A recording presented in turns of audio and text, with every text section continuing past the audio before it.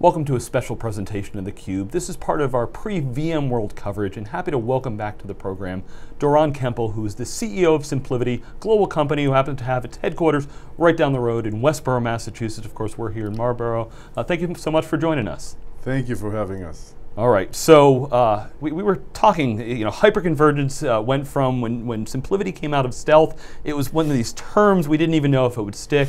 Um, and today there's somewhere between, I don't know, two dozen and three dozen companies that kind of claim to be in this market. So uh, what's new with SimpliVity? So first of all, let's touch upon that particular effect or impact yeah. where so many companies are saying that they're in the hyperconvergence uh, category. That is great. Yeah. And it's great because basically it helps the crossing of the chasm, so to speak, of the category, a so to speak inflection point. And I think that what we're seeing is a movement from early fascination or curiosity, people talk about this very long term hyperconvergence, to a state of relevance. People start deploying and perhaps deploying in volumes. To the third phase, which is where you really cross the chasm, and that is the phase of understanding and what I mean by understanding is understanding that not all hyperconvergence offerings are created equal. And if you think about it, in the 1980s, we had mainframes, and mm. storage was captive within the mainframes or other closed systems. And then when storage let itself out, the open systems revolutions, for a while all storage was created equal, but then there is significant segmentation, there's very significant clarity in terms of the y-axis, which is how far up the critical set of applications can a given storage device go. Think about it. The y-axis has to do with how far up market you can go. And this is typically associated with foundation capabilities such as performance, resiliency, and also serviceability. And another dimension, think about it as the x-axis, has to do with the functional scope. So as we move, as we cross the chasm in hyperconvergence, we're now at the state of relevance. That means that when everybody looks at hyperconvergence, they understand that everybody is in. Everybody needs to say, we have a hyperconvergence offering, but it's not really clear what the difference is. And basically, the analysts and the media measure everybody based on their revenue, yeah. which means that if you have a lot of revenue, that means that you're technologically sound. But what's going to happen in the next year or two, it's going to be very clear where people or where vendors are situated in terms of their availability, in terms of their ability to address the high end of the market or just the mid market and types of applications. And very importantly, the scope of functionality. In hyperconvergence, there are some who just offer rudimentary storage. Let's assume that they go halfway through the x-axis. And then there's some offer the data protection, the deduplication compression optimization, the ability to manage remote sites on a per virtual machine basis, and so forth. So I think we're at that phase where everybody says we're in the game, which is great. It creates awareness. And um, what comes to mind is an email that I got from a general manager of the data center business of a $5 billion system integrator. And in his email, he says, Doron, we're convinced that hyperconvergence is no longer a niche. I'm quoting. It is on any and every CIO's agenda. We need to engage with you. By the way, he sent me that email after I shared with him a very significant set of wins that we had at the very high end of the y-axis, basically global 100, 200 companies. Yeah. Uh, so this is great. A lot of great points there. Of course, part of our job, uh, you know, my job with the analyst hat on is to try to dissect that because, as you said, there's a lot of nuance built in there. Uh, when we wrote our first piece, what we called Server SAN, we talked about uh, both that X and Y axis because, first of all, uh, there's a general maturity on the marketplace. I, I, know you'll you'll talk about how long SimpliVity spent on building the software stack that you had, and you know that matters. Functionality matters, and then there's the whole diffusion of innovation. Mm -hmm. So how long does it take for customers to be ready for it? Uh, VMworlds is a show that you'll go and there's lots of those companies. Uh, you know, we're, we're going to have many of them on our video program, theCUBE, and they're talking about it. And absolutely, it's funny when I talk to end users, they don't have a convergence problem, but convergence and hyperconvergence is absolutely a solution that they're all looking at. It kind of fits in, you know, cloud, uh, convergence, uh, you know, mm -hmm. some of those items that people are mm -hmm. looking for. Um, so, but one of the challenges we all have is we like to boil it down and we like to make it simple. So, mm -hmm. revenue is an easy one. Number of users is an easy one. Mm-hmm. So, where, where are things with SimpliVity from a customer adoption and momentum standpoint? So we continue to grow about 2x year over year. We're very happy about that. Uh, consistently growing outside the United States, which is more challenging. It's much easier to open another territory in the West Coast or in New York than to open territories or new offices in South Africa or Turkey or Singapore or Thailand or Indonesia, etc. About 40% of our sales still come from outside the United States. I won't get into the details because the marketing team told me that uh, this is something that there's going to be an announcement about, but the company is growing very fast. But very importantly, as to the marketing or the company is growing up market on that y-axis. So when we started, it was after a period of 43 months in which we developed the core technology, the foundation technologies. We launched the first version of the code or the first product in April 2013, and since then we're now more than three years in the market. And with all the functionality that we offer, I'd like to suggest, and momentarily I'm actually going to show you a slide that shows what we have done on behalf of one of the largest companies in the world, that basically we've developed a technology that goes all the way on the y-axis. In other words, there isn't a payload that's virtualized that we cannot address with this particular technology. So on the y-axis, all the way up. And then in terms of the x-axis, in terms of the functionality, all of the functionality that is offered by anything that falls into the IDC $55 billion storage market. So basically, if you connect these two dots, it's the upper right, so to speak. So I'll talk about that momentarily, but when we launched in 2013, we couldn't go to a Fortune 100 company and tell them, run everything on SimpliVity. So we started in a mid-market and gradually graduated to the mid-enterprise, and then late last year we started getting into very large enterprises. I'm not talking about large enterprises for VDI. Not talking about large enterprises for Robo. I'm talking about core applications in the main data centers. And this is where we're growing, and this is very healthy for the business because that gives you a lot of repeatability. Once you get into these very large companies and they like what you do, then you start basically expanding the value that you create for them. So very exciting phase for us. On one hand, connecting to your prior question, the market is reaching this inflection point, and I think moving from relevance to understanding. What I mean by understanding is segmentation, understanding where the vendors are in terms of how far up the mission criticality path they can go and what type of uh, functionality.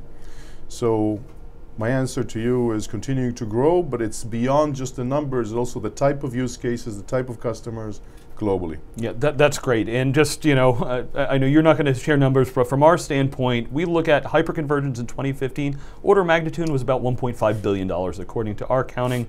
Um, you know, SimpliVity is, you know, in, that you know first pack of companies that have gotten to you know around that that magic kind of hundred million dollar mark, um, and you know a lot of growth in the space, uh, you know a lot of excitement, and you brought up some really good points though about uh, kind of the, the size of the customer because the big companies were like, oh well that's a robo thing, it's a little project in there, but two things. One is I think you've got great proof points there. Secondly, you see the big companies, uh, you know, EMC, HPE, you know, uh, Cisco, all you know trying to target this market. And you know they're not saying that this is some corner case environment. They're trying to you know try to hop on that wave uh, that you were one of the early leaders on.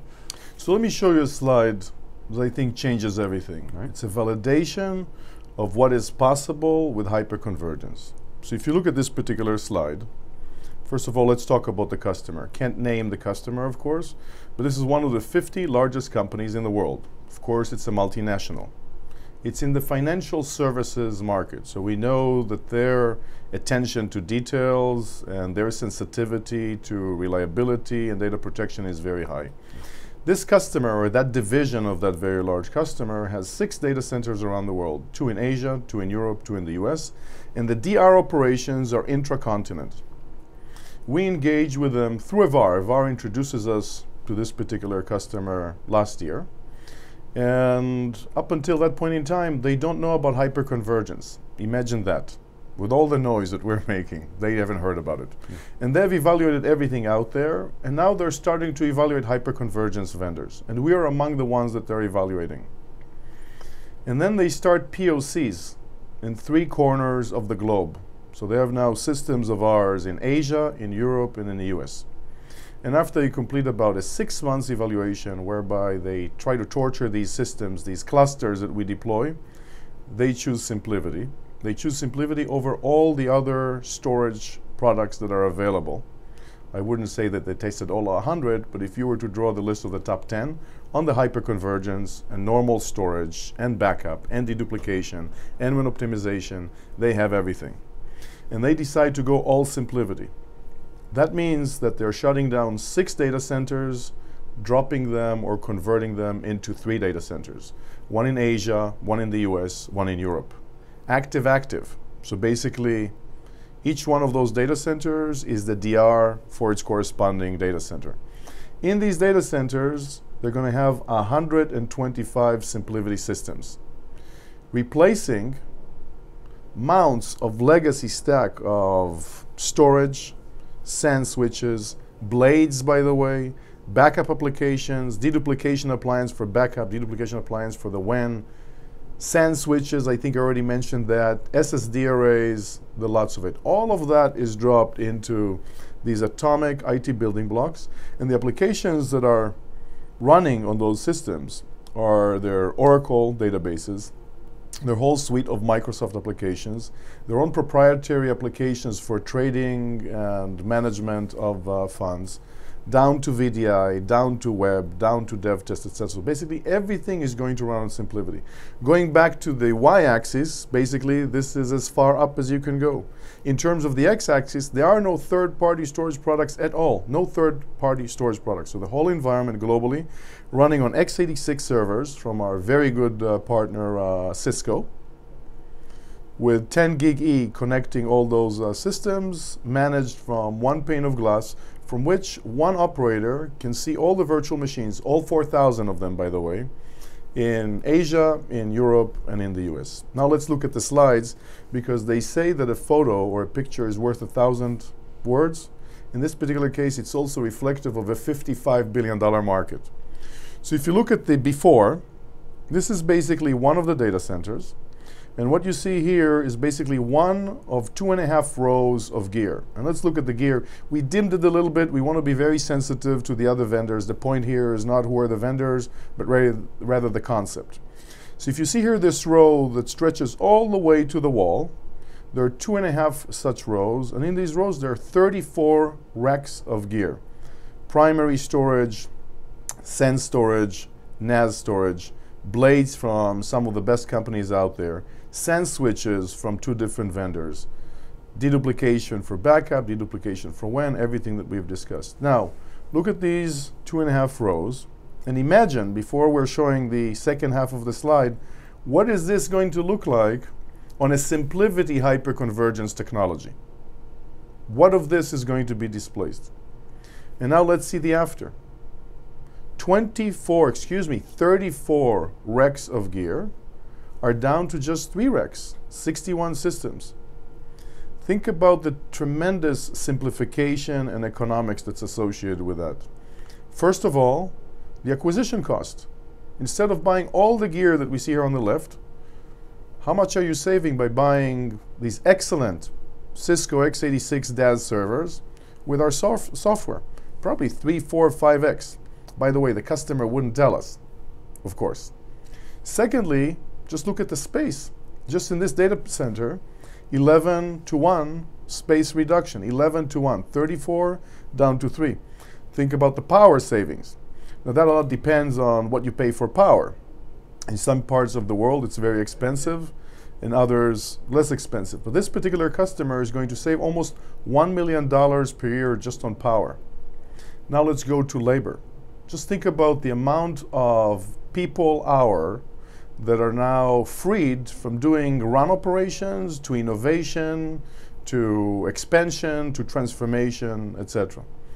Now, let's look at this slide and ask ourselves, what if? What if this is true? What if this is not some post-production? If there really are such customers that are deploying everything in this particular fashion? What happens when all the CIOs in the world learn of this? I would say that every responsible CIO now has a proof point that the SimpliVity version of hyperconvergence applies to all the applications. We're going to be very responsible, so we're going to still test that uh, with you, and offers all the functionality. If there are some gaps, there's no problem. You can run our systems next to any other products and still manage everything from vCenter, from UCS Director, you choose it. So I think that this particular customer and this particular phase in the market is at the eve of the inflection point. And with the help of uh, this particular interview, and by the way, I call on everybody who's listening to this interview and is taking notes. What is our responsibility as IT professionals? Is it not to share the information? So I challenge all of us. If you're listening to this, take this particular slide and just tweet it. Share it with everybody that you know. Why not make them more efficient, just like this customer? According to this customer, they're going to save about $100 million over the next five years. They're reducing the total cost of ownership by about 4x. Why not make sure that there is no CIO out there who doesn't know about this and let her or let him do their homework and figure out if there's a fit. So if it's not clear, we're very excited about this particular point. We think it's a validation of the company, of the vision, of the technology, the 43 months that we spent developing our own file system, our own object store, in order for us to be able to be at the top of the y-axis and the end of the x-axis. And I believe that there are no hyperconvergence offerings in the market today that can deliver these capabilities for these types of customers. Yeah. So, so many good things there. Uh, it's one of the reasons why when we post some of our research, you know, journalists will th say things like, it's the death of the storage array going forward. Um, for those people in the storage world, uh, you guys have tackled some pretty gnarly challenges. The, the one that, uh, you know, want you to talk a little bit about your technology differentiation compared to those couple dozen of other competitors out there. The two things that have stuck out to me since I've known SimpliVity is from day one, you guys supported replication. Now, replication is one of the things. I worked on storage replication solutions for like a decade, and it's tough. Salespeople don't know how to do it. Implementations are challenging. It's baked in and included in your product. And the second one, we've been railing about for you know longer than I've been in the industry, is backup. Because backup is challenging, backup is broken. We need a new way to do backup. Both of those offerings are kind of in your full stack. Um, and most companies, when they come out of stealth, it's like, oh, that's something I'll add later, or I'll figure out, or I'll partner. So, you know, those two I'd start with, and tell our audience why you, you, believe you've got, you know, a stack that's unparalleled in the industry. Thank you, Stuart. And that is very insightful. And typically, people who didn't work on these types of technologies think that the promise of the engineers when they deliver version 1.0, oh, no problem, we will add replication soon after. And then we will offer a cluster soon after. These soon afters in the normal startup world could be two or three years. And if you just look at some of the storage companies that have mushroomed in the past five years, just check how much time from first release until replication, cluster, etc. So very good point. Let me address it as follows. When we started the company, the vision from day one was to deliver a complete IT infrastructure stack focus on the data issue, I'm going to get back to that in a minute, and have it applied to the highest and most demanding workloads that are virtualized. And across those workloads, deliver all the functionality that today we need to buy as IT professionals five, six, seven different products. The primary array, the flash array, the backup applications of various sorts, whether for DR replication backup, and then the deduplication devices for backup, for WAN, the cloud gateway, and variety of other uh, products. What we wanted to do is offer all of this capability. And we basically drew a very long list of enterprise capabilities, and there are eight among them that I think are pivotal. Number one is predictable performance. If you're running tier one applications, the performance needs to be predictable. The death of storage in a tier one environment is that you can't count on it. Think about most of the hyperconvergence uh, players. They're running the storage on the same CPU that handle the applications. So inherently, you have this problem of dual responsibility of the resources towards the storage and towards the application. That's number one. Number two is, of course, peak performance. Number three is resiliency. You might say resiliency is basic. I'll say it's basic, but most of the hyperconvergence vendors that I know need three copies of the data, therefore in three separate servers and nodes, therefore they need to switch in order to give you the resiliency that we in the industry, in tier one applications, we call HA, high availability. We do that, as you know, with RAID and RAIN. So with two systems, low cost, you get high availability anywhere in the world. Next, you have data protection. You touched upon that. It's a very complicated world. And as you know, my prior company, Diligent, was offering data deduplication compression in the backup world, so I got a taste of that. That also points to the fact that the data efficiency is an issue I'm going to get to momentarily. Next, what we have is scalability in a single site. Then you have scalability in multiple sites. But when I talk about scalability in multiple sites, I'm not talking about the fact that you can say that you have a large file system and you can connect a lot of sites. I'm referring to the ability of a single operator to see all the sites globally on a per virtual machine basis and manage all of them, take action in order to protect them and mobilize them. Now, mobility of the data is critically important not only for protection, if you speak with that Global 50 company that I referenced earlier, they talk about the notion of data everywhere. They say with SimpliVity, I can mobilize my VMs and my data across the oceans, not only for protection, but when I decide that certain applications are of given level of importance, I can decide that they no longer belong in Asia, I move them to Europe or to the US. And that movement is a matter of, and I'm not exaggerating, seconds, minutes, not hours. Because once you've performed one backup, basically you have all the data and the next backup can come 10 minutes later and only the new data moves. So now we move from multiple offices, scalability across sites, to data efficiency. And this is a critical issue because there are so many devices and products today that dedupe compress the data in one phase of its life cycle, be that in the flash, or read cache, or in primary storage, or in backup, or in WAN, or in archive, or on its way to the cloud. So think about all these series of dehydration, rehydration, when the data leaves Data Domain, great company leader in its uh, space, and goes to Riverbed, another great company leader in its space. All of those companies condense the data in one phase and then rehydrate it. And all of this eats a lot of cycles. What we've decided to do is basically dedupe, compress, and optimize all the data at inception. Use technologies that will allow us to not introduce latency, but to reduce latency because we basically write less data. And keep the data dedupe, compressed, and optimized throughout its life cycle once and forever. So we only touch the data once.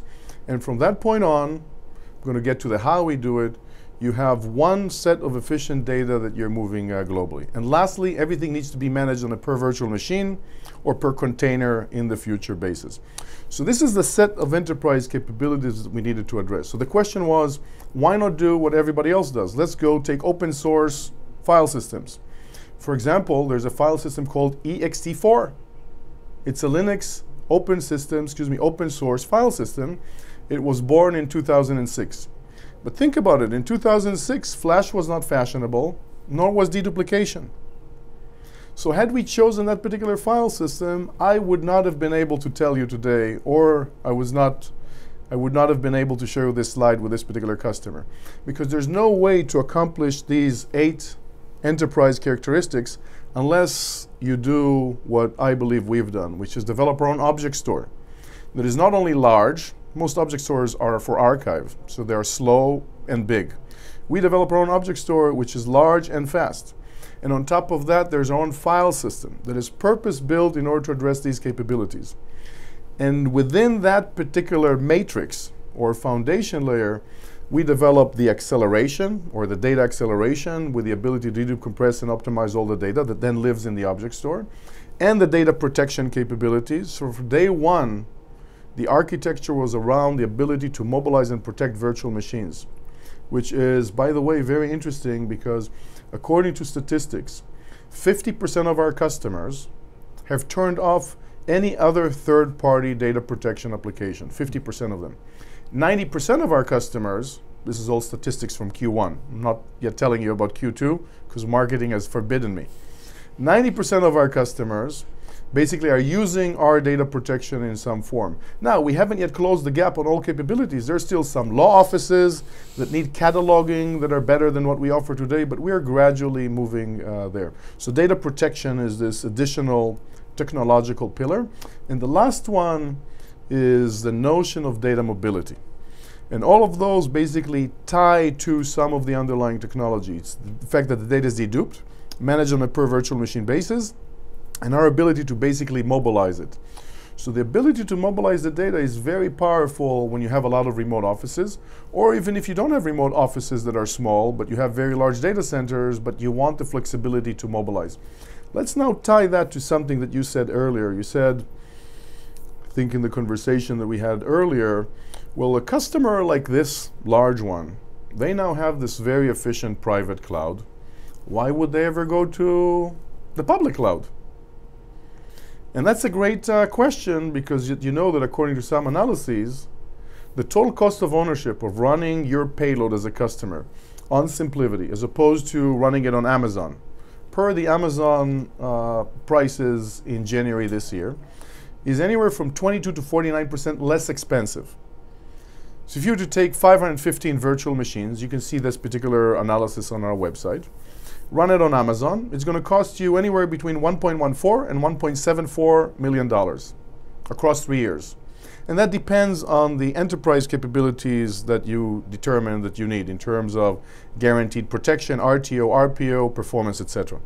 If you were to run the same 515 virtual machines on two sites that you have now leased, that you're paying for the power, the space, you buy the gear, in other words, the servers that you run our software on, VMware licenses, whatever you pay SimpliVity and maintenance support and the labor, all inclusive, 22 to 49% less expensive, $885,000 over the same three years.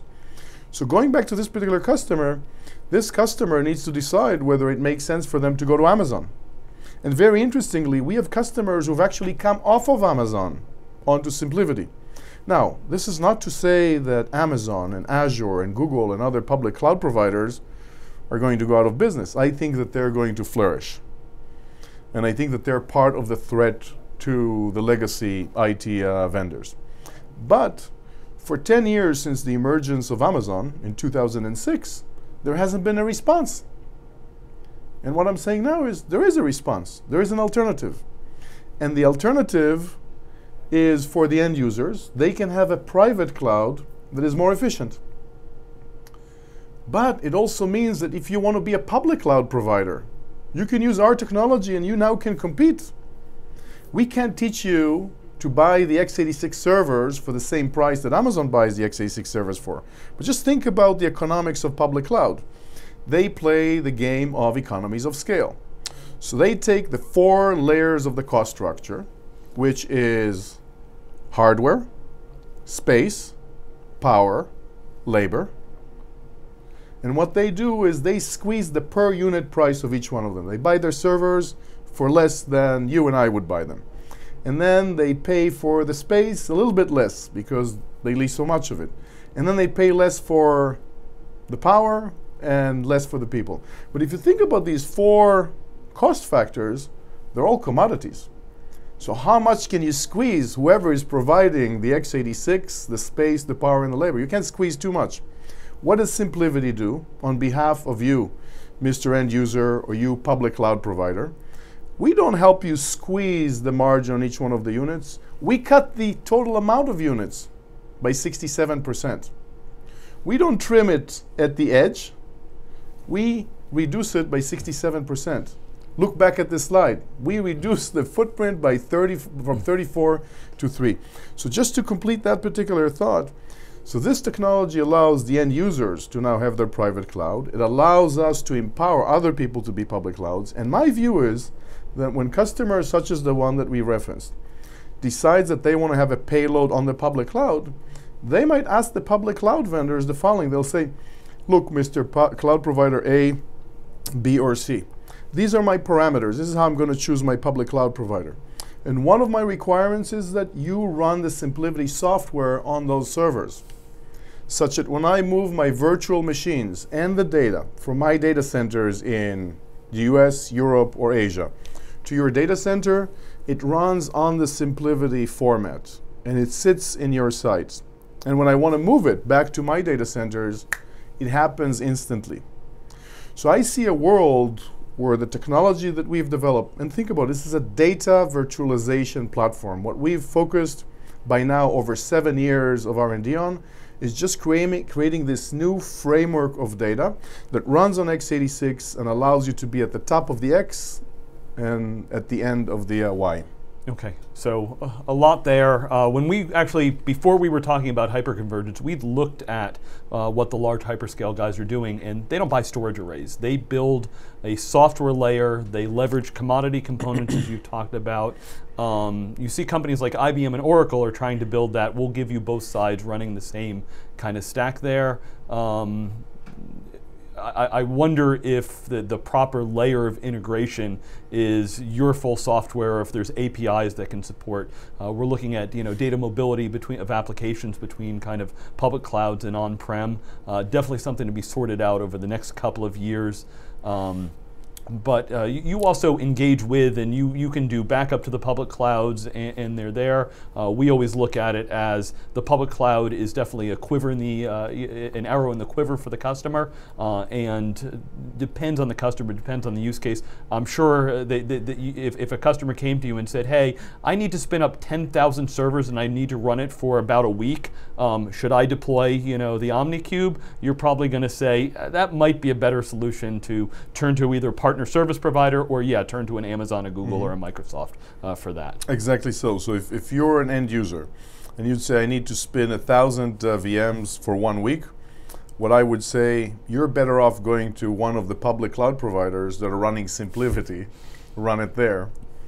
They'll allow you this elasticity. Yeah, and today, to, to, to be clear, you do you have service providers listed on your site that run your stack? And what about, I mean, the big three? You talk about Amazon, Azure, and Google. That's kind of a, a future thing that you're talking about potentially, correct? Yeah, we have not sold systems to the big three, to Amazon, Azure, and Google. We have other companies, excuse me, who are service providers who are running SimpliVity. Most of them are actually in the business of also selling systems. So these are VARs or system integrators who've been selling SimpliVity gear and at the same time have their own cloud offering. And it's very interesting because on one hand they can sell systems and they can say to the customer, you can back up to my side, you can DR to my side. Basically think about it as backup or DR as a service. The answer is yes. Th- th- that's great. We, we've been saying for years actually that uh, you know there's transformation happening in the channel and often service providers can be that new channel. Uh, let, us do a quick run through some of the One ecosystem. word about the channel yeah, because uh, I have a rule never to miss an opportunity to say something about our channel. Okay. So we are 100% committed to our channel partners, VARs, system integrators, and I think that this is showing great fruit. So what we've seen happen in, I'd say the turn of 2015, is that very large system integrators and VARs started inviting SimpliVity. I was referring to this email from one of them. He's probably listening. He knows what I'm referring to. But basically, some very large players, I'm talking about $5 billion to $1 billion type of VARs or system integrators, are now signing up with SimpliVity, and basically, this is what we've been waiting for. So, excellent partners, we're committed to them, and our strategy of transforming our business basically from selling the OmniCube to, since last year, selling our software, OmniStack, with your choice of server, that is paying great uh, dividends. Okay, so that allows us to kind of pivot. Let's run through real quick some of the ecosystem players. I think a channel, I think of the Omni uh, Stack uh, offering that you have, Cisco, of course. Um, I, wrote a paper a year ago. From a storage standpoint, Cisco did great at converged infrastructure. They partnered with over 30 different storage players, uh, and you've had good success with them. They've now got their own OEM uh, offering, the HyperFlex. How's the Cisco relationship, and what do you see from Cisco in the coming year? So, our most important partners are VMware and Cisco. And I expect this to continue to be the case. I think that people know that we're coming out with uh, Hyper-V at some point in time and that will embolden our relationship also with uh, Microsoft, of course, just something that you need to do. But uh, Cisco has their offering, uh, VMware has their offering, and we respect that. Of course, everybody wants to be an only child until you fall in love with your brothers and sisters, and that's okay. So basically, we respect that, and when we need to compete, we compete, but uh, our team competes and we compete in a very respectful uh, manner Uh, you're not going to find in our uh, collateral anything damning or uh, uh criticizing of these particular uh, partners. Cisco is very important to us because they're such a great partner. They have such a great name. They have such great relationships with the VARs, everything that we model ourselves after. So the business with Cisco is very healthy, continues to grow. I think that we announced uh, not too long ago that uh, just last year, from the time we started shipping with them, I think within three quarters we got to about a thousand systems shipped, over 200 customers, and that has continued to grow. And we're very happy with this particular uh, business. The same thing with VMware, very important partner. We basically run between VMware and uh, Cisco wherever we are, wherever we are on VMware. So that's a very important relationship. We also have a relationship with Lenovo mm -hmm. since late last year. And that's another important uh, partner. And our business with Lenovo is growing. Just to be clear, in none of these cases do we sell through these very important partners. The people who sell our technology to the end user are always the VARs and the system integrators. And what's in it for them is margin. So basically, we offer them directly a technology. The technology doesn't go through a few starter steps and then gets to the VAR and then gets to the end user. And they get to choose whatever server they prefer. And these are great uh, server partners and uh, will continue to grow alongside them. Did I address your question? You, you, did, great. And talking of server vendors, of course, Dell's made a big move. We're waiting for China to sign off on everything. Um, Dell will then be the owner. Dell Technologies will have EMC. VMware's part of that whole family of technologies, and your Omni, your OmniCube, uh, what what you sell through the channel when it's not Cisco, is a Dell-based uh, you know, architecture. So what does that whole mean of, you know, you know, heck, Nutanix is in the mix there as an OEM.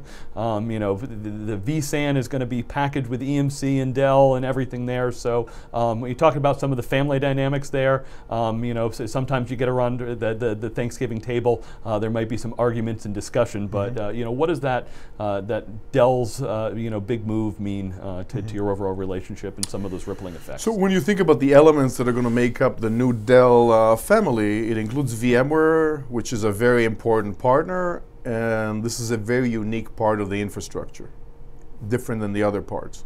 Then there are the Dell servers that are excellent servers. Had they not been excellent, we would not have been OEMing them uh, in and selling them as an OmniCube.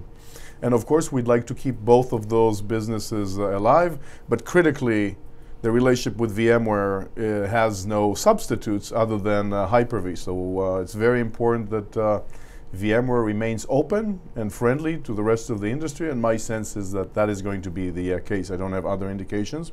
And EMC is a company that I respect greatly. I actually was an employee of EMC, as you know. And I think that if we partner, we partner. If we compete, we compete. But I don't, I don't see the change of them being part of that particular family, at least uh, not initially. So of course, we wish everybody luck with this uh, uh, audacious uh, move. In and of itself, I like the move. It's a very, very significant it move. Definitely uh, highlights the fact that uh, storage is pulled much closer to the server, which is a trend that, that you've been betting on since you know day one with SimpliVity. All right, uh, last piece of the ecosystem discussion. By the way, and you can also buy the Dell servers. Yeah. by themselves and have them meet our software.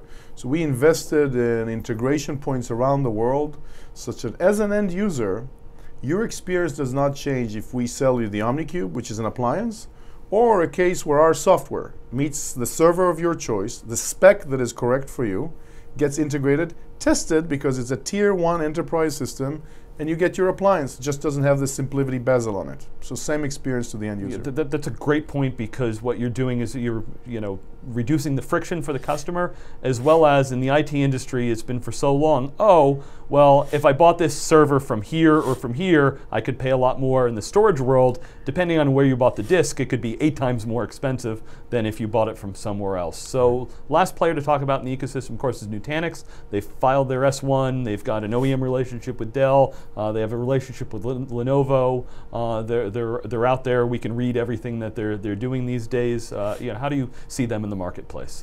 First of all, we're their second biggest cheerleaders. I can't say that we're first because they're the first. But of course, we'd like them to have a very successful IPO, and we'd like them to do the right thing, and we'd like the public markets to realize that hyperconvergence is very different than storage. So if somebody tomorrow launches a new storage product, that doesn't make it a new paradigm. Just like if you and I tomorrow came up with a new mainframe, it's a new mainframe, but it's not a new paradigm. Hyperconvergence is a new paradigm. Uh, Nutanix has done uh, great for this particular category, and we have significant respect for them, and we wish them great uh, success. We'd like them to set the bar very high in terms of the value of hyperconvergence uh, vendors. All right, so uh, you came out of stealth a little over three years ago now.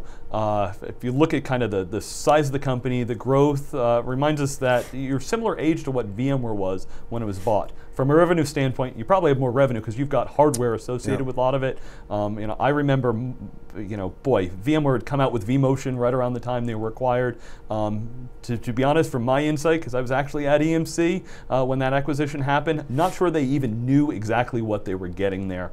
Um, but you know, did you compare? Nor, nor did anybody else yeah, at that time. absolutely. If, if, if they had known, there would have been a huge bidding war. Uh, mm-hmm. So so absolutely. So you know, how do you see SimpliVity? Uh, you know, there's rumors every once in a while that maybe it'll be acquired. You know, one of your competitors is going IPO. Uh, you know, how do you see yourselves going forward and you know vis-a-vis VMware? So that's a great uh, question. So let's talk about VMware for a moment. VMware got acquired when they were six years old. SimpliVity is now seven years old. I think, based on the stats that I read, that SimpliVity is much larger in terms of its footprint and the amount of capital that it has raised, and the total investment in R&D. It's probably about three times more dollars invested in R&D over the seven years than VMware is invested over the six years until it got acquired. Different era, by the way. These are not uh, normative statements about what's good or uh, bad. But here's the interesting point. VMware, in my mind, is the most important company to have emerged in IT infrastructure in the last 15 years. Now, at the time that VMware gets acquired, is it not clear to everybody else who's looking? Let's name them for a moment with great respect. Oracle, Dell, Sun was relevant uh, then. Uh, HP, IBM, Microsoft, all the other, NetApp. Wasn't it clear to all these people that this is big and they would do well to have a similar technology? Of course. So we're clear on the fact that everybody would have wanted a technology such as VMware. So how come there's only VMware, Hyper-V, and maybe there's also KVM, and maybe there's something else. Maybe there's Xen. But at, at, the end of the day, they're just two offerings, really. VMware and Microsoft. And it took Microsoft 10 years to deliver version 3.0 that the market says this is now relevant. Great respect for Microsoft. But think about it mighty Microsoft, 10 years to deliver version 3.0.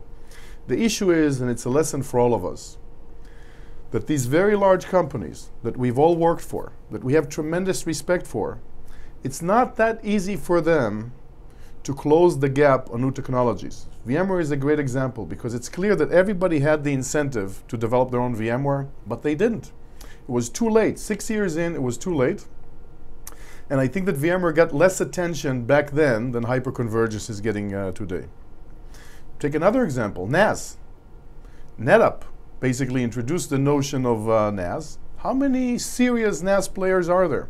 There's NetApp, and then EMC back in the late 90s acquired Celerra from DEC, built their NAS offerings around that, around the Symmetrix line, and later mid-range, etc.